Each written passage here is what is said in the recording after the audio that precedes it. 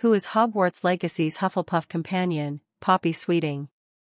Poppy Sweeting was a witch who attended Hogwarts School of Witchcraft and Wizardry during the late 19th century, where she was sorted into Hufflepuff House.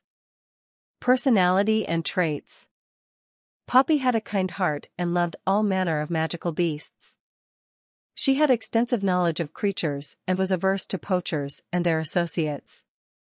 Introducing Poppy Sweeting we had already seen Poppy in the State of Play gameplay trailer and we were introduced to her as a nice student very cute who loves fantastic animals and even manages to hatch a little bird.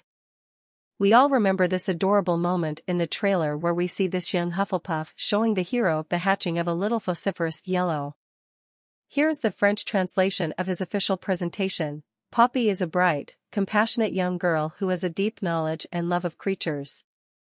In fact, she thinks creatures have far more redeeming qualities than most people, and she has a particular aversion to poachers. And those who work with them. His description is undoubtedly reminiscent of Norbert Scamander, but she seems to hide a dark side behind her kindness. Poppy, not so nice? If her qualities of empathy and kindness are beyond doubt, her unconditional love of animals could perhaps make her dangerous and give her desire to massacre the many poachers of the game so that justice is done.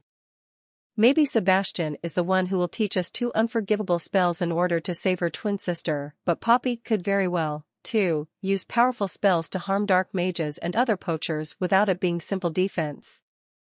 In the teaser image anyway, she's frowning and doesn't look that cute. That said, it would make sense to see that Poppy wants to help corrupted creatures at all costs. As you surely know, some animals in the game will be under the influence of dark magic, probably due to the Goblin Ranrock, and she will certainly want to save them.